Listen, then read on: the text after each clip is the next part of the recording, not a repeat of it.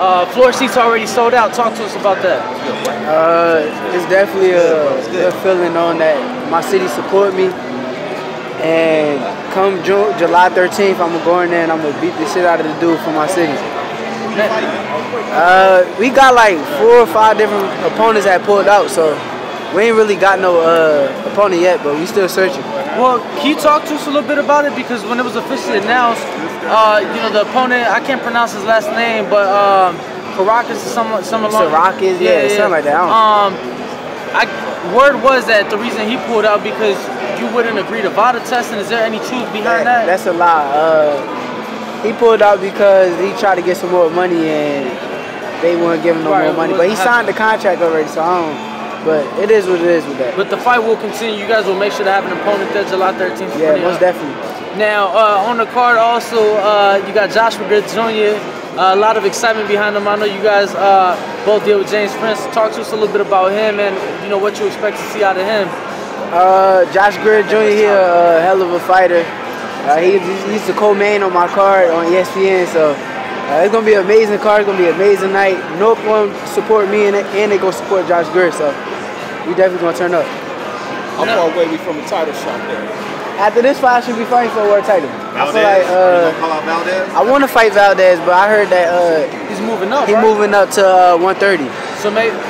What- Yeah. yeah, I'm And hearing. I'm hearing Carl Frampton. Maybe you and you and Carl Frampton. I that. smoke Carl Frampton. He hasn't. He hasn't looked the same. He hasn't looked the I same smoke after, Carl after the Frampton. I, second Leo I smoke him. But look, I'm here supporting my brother uh, Quinn Randall. Uh, he fight on the Charlo card. So Uh, get up in here, Randall. yeah, he a beast too, so I'm definitely here supporting him. Talk to us a little bit about about yourself, man. Uh, big stage to be here in Vegas on a big card, national television. Yeah, man, it's gonna be a good fight. I promise you. I promise you it's gonna be a good fight. It's gonna end early too, so don't take your eyes off the TV. But I was the team captain on the USA team for the last two years. I was ranked number one in the nation, number two in the continent, number five in the world. And a lot of that is because my boy Shakur gave me some hella fire scoring, getting me ready for them international southpaw fighters. So it's gonna be 4 0 come Sunday night. That's all I'm gonna say for right now. Whoa. End it quick. End it quick. I just got, I believe in myself, man. I'm getting the best sparring. I've been sparring the best for years. I've been sparring, like I said, Shakur Stevenson, Terrence Crawford, Errol Spence, Jermall Charlo's been my sparring partner, Regis Prograis. So I've been in there with the world's best. So, and I'm ready. So I don't care what he bringing to the table. I know what I'm bringing. Recently, you went online to talk about uh, your sparring with Jermall and Errol and Terrence. Talk to us about what what that was like. Obviously, all different looks, different weight classes. But talk to us about the work that you got from each, and who would you say was the toughest out of the three? Ooh. Between the three, I ain't gonna lie, when I first sparred him, he frustrated me so bad because I could never get off more than one shot at a time because he knew his range so better, so good. So he helped me develop as that as well because I had a late start in this. So, but I would have to say Crawford, Crawford and Errol, was the two most difficult people I ever stepped in the ring with. So that being said, that, You that- went 50-50. I watched your interview. You went 50-50. You didn't give an answer. so that being said, you know you haven't been in the ring with both of those gentlemen. How do you see a fight between those two guys play out between Terrence Crawford and between Errol Spence? If and when they do fight, it's gonna be an epic fight, and I'm gonna leave it at that. he learned from you, Shakur. He learned from you. Let's get your name one more time. Let's get Quinn, that. my name is Quinn Quick Draw Randall. My Instagram name is Quick Draw underscore P4P. And so man, be looking out for me. All right, let's go back to last Saturday night. What was your impression of Tyson Fury? Shit, Tyson Fury probably one of the uh, best best heavyweights in boxing. No. Yes, he is. Yes, he Skillful is. wise, He- skill wise, yes, he he's is. matter of fact, skill wise, he's he's the best heavyweight in boxing. I think he beat Deontay Wilder. Wilder. I'm not gonna say he beat Deontay Wilder because Deontay Wilder got that that that that, that power, that that real power. Like if Deontay Wilder touch you, is is night night at any given time. So uh, I feel like they they two of the best heavyweights in boxing, and it's tit for tat with them. Do you think that um, being that Tyson Fury just came here, you've been with Top Rank for about two years now, 16? Do you think it's uneven in terms of the promotion? What you mean? I watch TV and I'm like, Shakur Stevenson is, you remind me of my son. You're just like my son. Yeah. You remind me of my son. Good looking kid. Yeah, you know what I mean? Yeah, look, looks like my son. So when I see you, I'm like, you should be at BET weekend this weekend. You should be doing something for Jet Magazine, whatever the case may be. And but when Tyson Fury came over, it seemed like whole hell Tyson Fury. He's the guy. When they got you, when they have you, you know what I mean? I think Bob and Top Rank. I'm not putting you on the spot. I'm, Yeah. I'm not No, I get you, I get you, I get you. But I, I, I genuinely think that you have a chance to be special across both sides of the fence. You're God gifted, you're talented, you speak well. But it seems like they just keep on giving it to Lomachenko and Yeah, Tyson Fury. I get what you're saying. Uh, it's gonna come a time I'm probably gonna speak on that. I ain't gonna speak on too much of that right now, but uh, I understand what you're saying. But either way, I'm gonna be a star regardless. I'm gonna find, I'm gonna make my way. I ain't tripping shit. Feel that sense what he's talking about? Yeah, I, I get what you're saying. He ain't got to to speak on this That's your shit. I job, can Shakur. speak. You want to be like up there with Floyd Mayweather, you know, where you making I'm gonna mass be, a, I'm gonna be a star regardless. I promise. I'm gonna be one of the biggest stars in boxing. in the He ain't got to speak years. on it. I can speak on it. Nobody heard of Tyson Fury when he had just nine fights. My man's already finna headline his own card at nine, what, ten fights? So that says something itself. It took Tyson Fury 20 plus fights to even get recognized. He just came to America trying to steal American fans.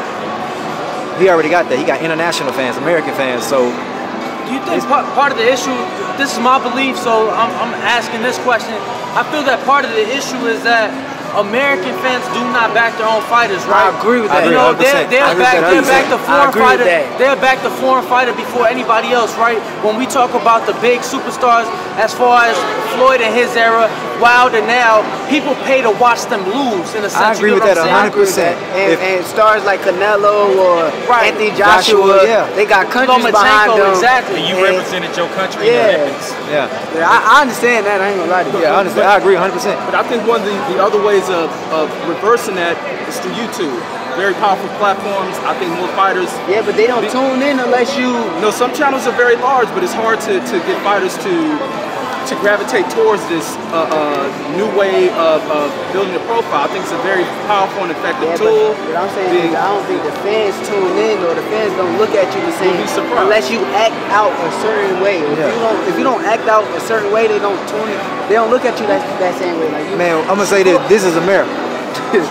you, you'll be, that you'll be being said- surprised with how powerful some of the YouTube platforms are. No, I agree with you. Shakur, But if it ain't no drama up there or I don't think black fighters have to relegate themselves to that. I think I there's other you. ways of doing But- it. I hear you, you probably so that's that's your opinion. But I'm just telling you what it is. Shakur, obviously you was uh, the you was in the last Olympics 2016. You medal silver. Um, Floyd was very uh, persistent on you know wanting to sign you things of that. The reason I'm bringing up Floyd is because when he came out the Olympics in '96, there's a video interview that Dan Rayfield did. He was working for USA Today at the time. He said that Floyd had the option to come out and be, you know, America's child, you know, be that good persona, but he chose not to. Do you feel that as a black fighter in America, you almost have to have a negative persona in order to become financially like stay, you know, well off? Because it seems like that, that that's what helped Floyd. You know what I'm saying? Because people people weren't respecting his talent. They they were paying to watch him lose. Do you feel like that's an issue in America? And if so, how can that change? I, I think that's the issue with African American fighters. Yes. But I ain't gonna speak on. I'm telling you, I ain't gonna speak on it too much. But it's the issue with African American fighters. That's how I feel. Because you can do everything right. Terrence Crawford spoke about that at the Breakfast Club interview. I don't know if you saw that. Yeah. But he spoke about how uh, they want Like, you come on, look at the. Terrence though. Yeah. If Terrence was acting a certain way and and come, let's be for real, what what kind of star would he be? Like, if we be if we being honest, Or if he signed with PBC, he'd be a much bigger star. You I don't, gotta. I don't agree with that. I don't, I don't agree believe with that yet. That's fine. I don't agree with Talk that. But it. if he if he acted out a certain way, he would be a bigger star. I think Terrence has everything. Errol too. If we Yeah. if, if, if Errol acted out a certain way, Errol would be a bigger star. And that's how, how do you- facts. How do you plan to change that perception? To his point, how do you plan to change that perception, or, or is it cool with just being you and let and let I the mean- come to you how they come? I don't know. I know. I know one way or another. I'm gonna figure it out. So I, it's gonna happen. I ain't tripping. Yeah. I got a nice smile and. Uh, no, no, you hey, right though. the word, the word, the word like me. So No, you right. One way or another, I'm gonna figure it out, and I can fight. You know, it's crazy because I, I can feel like a big issue with a lot of these young fighters, they don't know how to speak. You get what I'm saying? When the cameras is in front of them, they don't know how to how to flow a conversation, how to conduct an interview. Yeah. You know, that's part that that's a great thing that you're able to do. But you know, not just are you working with top top rank, but James Will having worked with some of the biggest. How do you feel? You know, not just athletes, but you know, musicians and celebrities in the world. Yeah, you gotta you gotta uh, get into that. Yeah, I feel you on that. I How, feel that. how do you feel he can help you? You know, to, to take you to that superstar. Yeah, it's going. Uh, he, he got uh, other rappers like what Drake and uh, he, he he tied in with a lot of uh, rappers, so I feel like that's gonna help a lot, and I'm gonna try to break into that part of it also. How much longer do you have at 26? Comfortable.